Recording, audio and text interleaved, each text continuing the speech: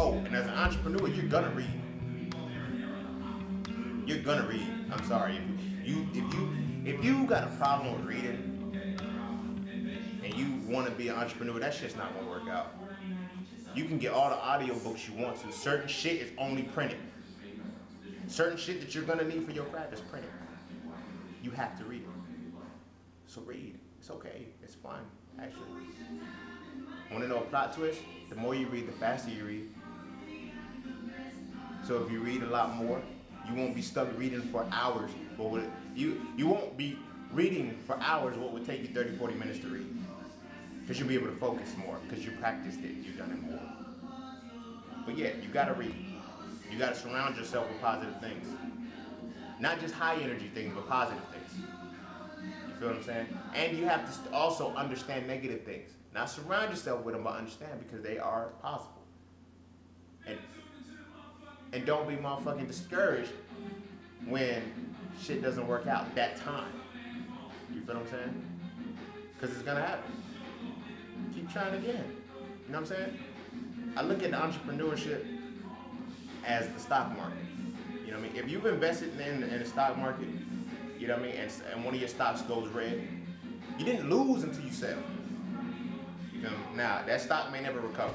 Just saying. But that stock could turn around and recover. You never lost it until you sold it. In entrepreneurship, you never fail until you stop. Until you stop, that's when you fail at whatever it is that you're doing. But if this doesn't work, you find another way to fix it and you keep going. There are no failures. Until you officially say, I'm done and I don't do this anymore. Then everything that, that, that you failed at stays a failure. Feel what I'm saying? So, like, learn how to how to how to involve yourself the right way and be an entrepreneur for real. Don't just want it. Feel me? Don't just want it. Do it. Live it. Be it. Claim it. Find what it is that you are good at, what you are great at, what you're here on this earth for, and monetize it. It's okay to monetize your shit. It's okay. We live in a world that runs money. You need money to to to act. Don't believe that. Don't believe the hype that you can. Exploiting people. That's that's wrong. I'm not saying do that. You know. But you can monetize without act- without exploitation. So tap into it. Evolve and be the entrepreneur. Like it's okay. You can do this shit. It's not hard. But make sure that this is what you want to do. Not because it's popular. Not because you want this money. Because like I said, the money, if you're chasing the money, you're gonna fuck up. You'll never, you'll never reach a point of completion. And you'll never know when to switch gears to go to another bag, to create another bag. Focus on time. Focus on time. You focus on how much more time you can have, by default you're gonna start making more money. Because now your mind is working towards how can I, what can I do to compensate for me to be able to have this amount of free time?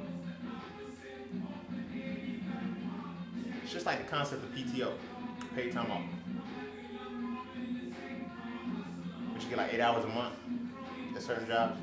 You get eight hours a month, eight hours of PTO per month, or some crazy shit like that. So to be like what for every technically every 160 hours you work, you get eight hours to do nothing. What kind of fucking reward is that? I ain't gonna get into that. But think about that. So if you want a week of free time, just think about how many hours you now have to put in. A work week is 40 hours, right? So you have to do eight hours for like, let's say eight hours for every 160 hours you work. If you want a full work week of 40 hours, you need to work five times that. So 160, five times is what 800. You have so technically you have to work 800 hours to get 40 hours of free time. That's how PTO works.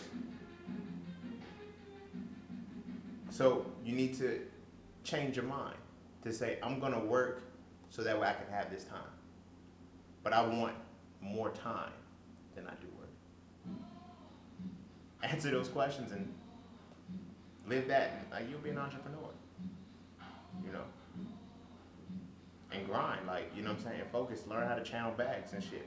Once one comes, you make another, and then you start making exponential growth. You feel what I'm saying?